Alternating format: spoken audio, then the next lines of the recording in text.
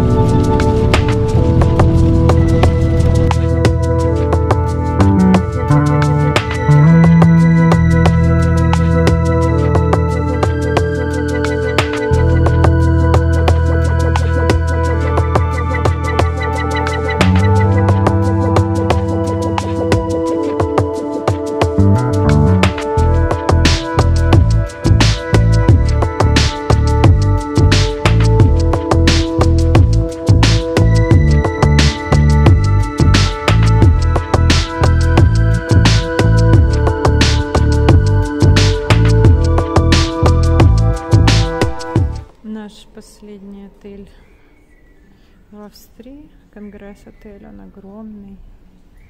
У него там какая-то внутренняя территория, еще у него есть бассейн. Отель называется «Пирамида». За счет вот такого вот конгресс-зала. Я надеюсь, мы туда сбегаем. Я вам покажу. Привет! Ля-ля-ля, это я. Зеркальные стены. Все очень дорого, богато, зеркально. У нас Какой-то четвертый этаж. Я не вижу такого. Тут уже первый фейл. Нашли свой номер. А, Вход по карточкам, а карточки не срабатывают. Саша пошел на ресепшн. До ресепшена еще идти, наверное, минут 10. Хочется уже в бассейник. Ура, мы зашли. Оказывается, я неправильно вставляла. В общем, при входе нас встречает туалет. Теперь я. Ванная. Огромная, хорошая ванная. Зеркала. Зеркала, зеркала вообще во всю стену. Удивительно, что зеркал нет на потолке. Кровать сдвинутая. Это я не люблю такие кровати. Столик с зеркальной поверхностью. Удивительно, что не зеркала вместо стекол, но классные. Вау, вот мне нравится. Окна во весь пол, супер. Вид классный, соседей нету. Тут нас встречает какой-то монголо-татарская ига. Здесь куча-куча конференц-залов. Так, я планирую вот туда, в саму пирамиду пройти. Надеюсь, она доступна нам. Вот и пирамида. Здесь же зимний сад.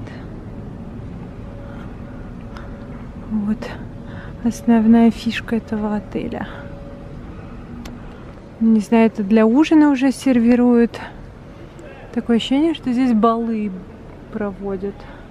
Я бы не хотела на такой ужин. Такой вот конференц-зал. Все живые деревья, как я думаю, вы поняли. Ну, а мы отправляемся поплавать. Здесь есть бассейник. До 10 вечера работает. Еще 6 мы успеваем. Хочешь плавать? Угу. Хочу. Завтра утром рано у нас аэропорт. Полет а, в Кишинев. Там мы забираем ребенка, потом летим, потом едем в Румынию, едем в Израиль летим. Пока что мы нашли фитнес-зал. Зал для занятий. Но пока не нашли бассейн. Тарам-папа. Мужская раздевалка. А, вот, наверное, женская раздевалка. О, пул, пул. А еще там есть, похоже, сауна. А, а? А, туда нужно бахилы. И туда, наверное, уже в этом... Туда, наверное, уже в купальнике, нет? Нет. А тут очень котеночек здесь. О, о, о, о, о, о, о. Похоже, это место никто не нашел, судя по тому, что здесь нету народу. А, Здесь безумно мило, ребята. Все, мы сейчас берем купальники и до 10 вечера будем здесь отдыхать. Вау, вау, вау.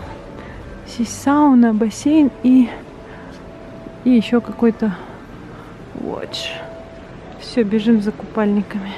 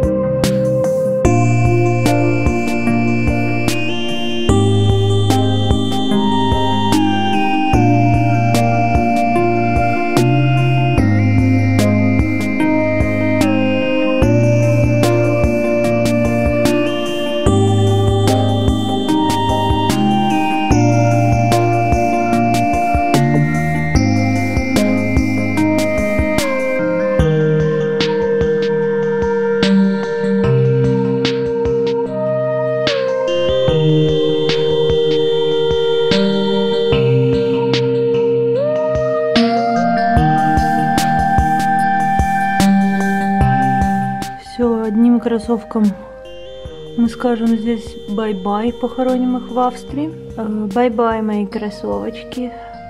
Они уже истоптаны в Австрии окончательно, и мы купили им замену здесь. Э, Моя любимая фирма Skechers, легкие, с э, Memory Foam стелькой запоминающей вашу ножку. Уже чуть-чуть них походила.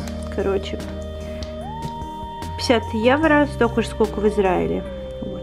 Обувь, похоже, интернациональная. Дорого стоит. Пока сидим, ждем посадку из Вены в Кишинев, хочу рассказать вам про особенности аренды автомобилей. А, Мы путешествовали с друзьями, как вы поняли, и у нас была разница. Я брала машину у э, локальных, у местных как-то rent cars, О, а друзья брали у международного секста. Э, Разница была, конечно, в деньгах. Во-первых, э, мы платили 200 евро за? Короче, дней 5. Они заплатили 300 евро за дня 4.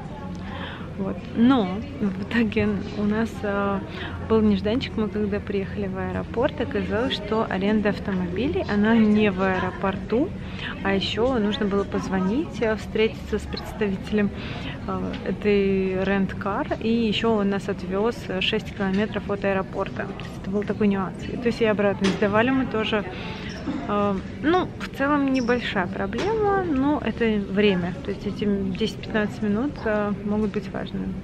Вот, потом был нюанс, э, именно, может быть, для Австрии, что там одна дорога из Зальцбурга в Инсбрук э, побыстрее проходит через Германию. И нам пришлось доплатить 70 евро. Я думала, может быть, у Сикста нет такой проблемы, потому что они международные, и у них есть международная страховка, но оказалось, что нет. Друзья сказали, что им тоже нужно было бы докупить такую страховку, они просто не ехали этой дорогой. Э, Нюанс у нас был, что не работало стекло водителя, не спускалось. Я потом, когда мы сдавали машину, пожаловалась, что типа оно не работает. Типа а, мне сказали, ну а мы знаем, оно такое, это специально так сделано. Окей.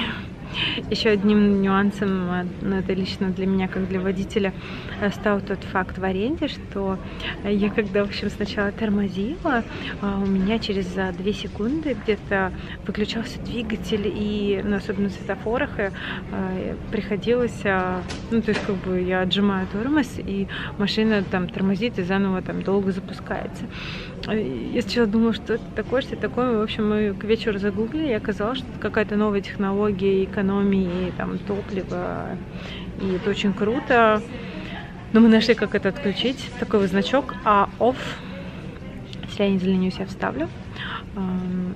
Вот, можно отключить, но это приходилось отключать э, его каждый раз, когда я э, садилась за руль. Тоже не очень удобно, вот, но такое есть. Я первый раз с таким столкнулась, но это такие вот современные технологии. А, классно, что мы их попробовали. Да вообще в Австрии очень много современного всего. И я увидела в жизни здесь уже три Теслы.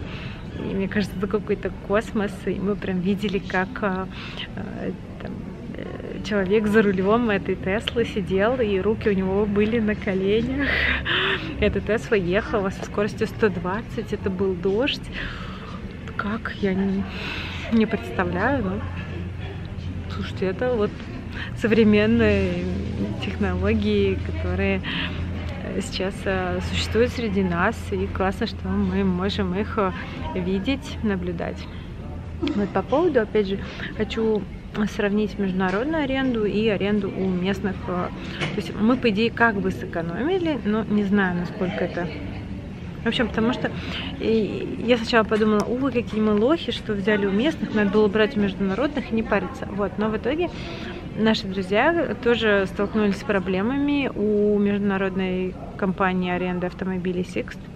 Они э, их багаж потеряли, это вина авиакомпании, не Rental Cars, но из-за того, что они оформляли а, потерю багажа, они опоздали на а, взятие машины, и они думали, что, ну, какая может быть проблема, а в итоге. Им Стык сказал, что вы опоздали на час, в наших правилах, если вы не пришли после часа заявленного времени, то ваша бронь снимается, несмотря на то, что она была полностью оплачена, и в итоге им сказали, что ваш вашего уровня автомобилей уже есть нету. только э, уровень автомобилей выше или ниже. Если выше вы берете, вы должны доплатить, а ниже вы не должны доплатить.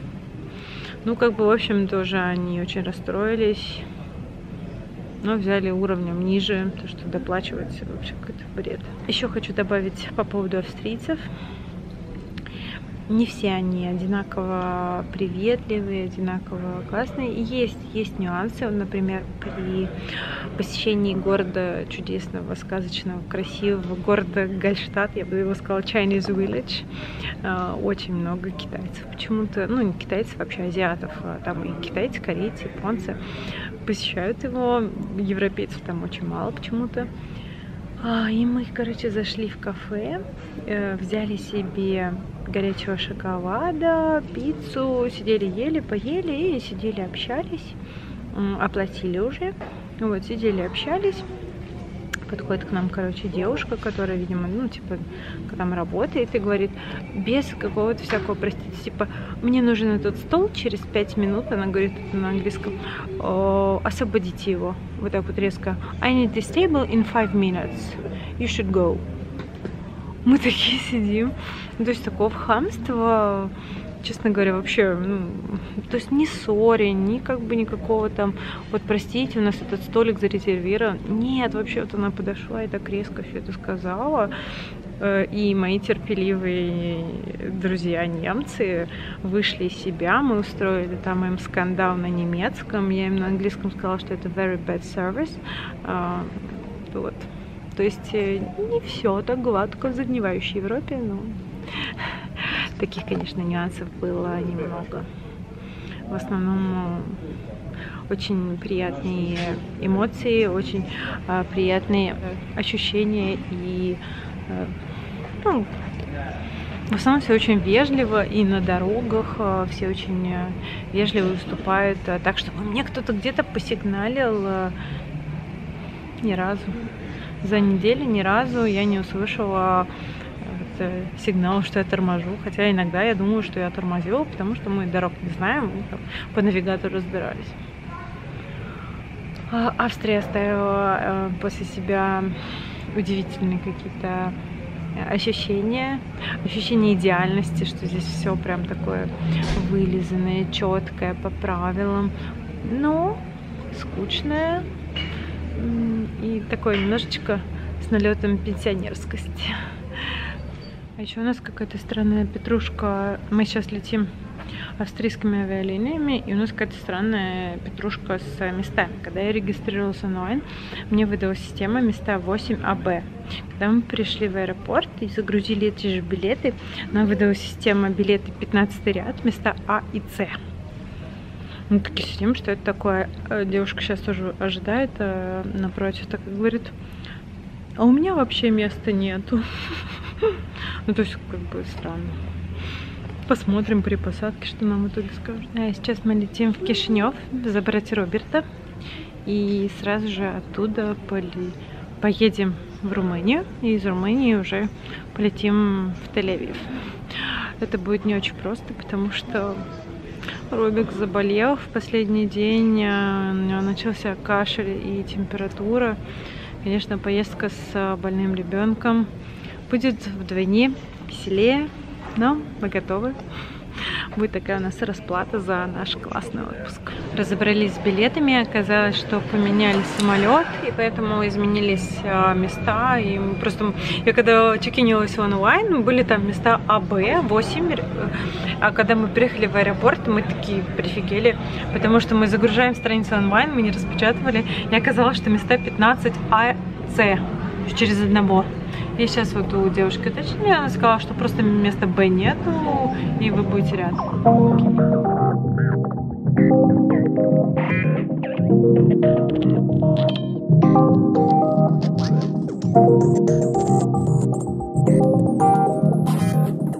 уже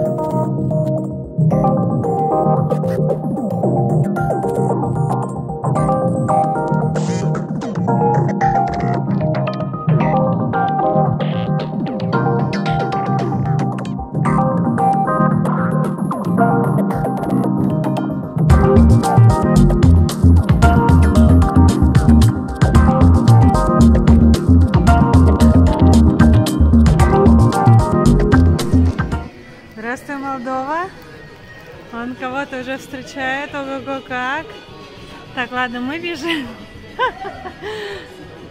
Заказал такси? Заказал такси?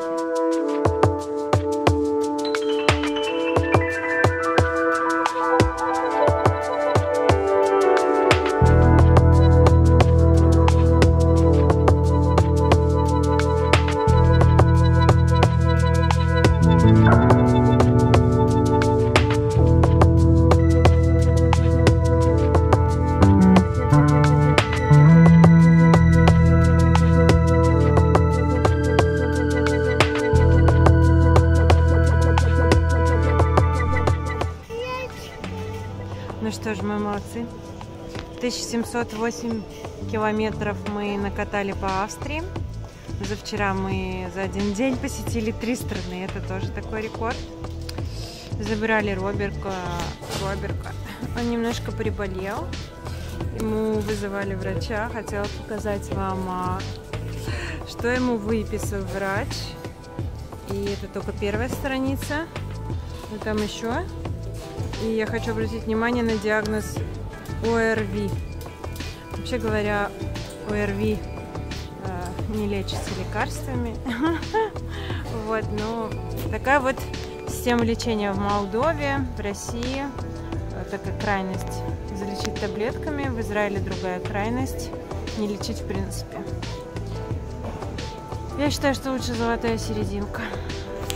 Надеюсь, а, вам понравилось путешествовать с нами. И вы, если поедете в Австрию, возьмете на заметку какие-то наши лайфхаки и наши ошибки. Желаю вам хорошего дня. Пока.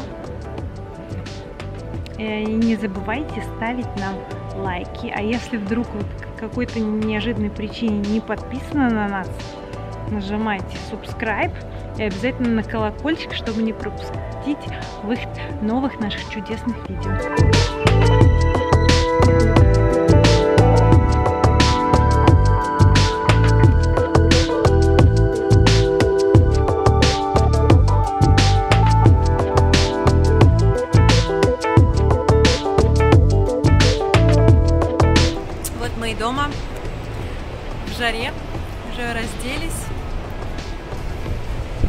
Потеем. Друзья, до будущих встреч, теперь точно пока-пока. Лежит наш папа.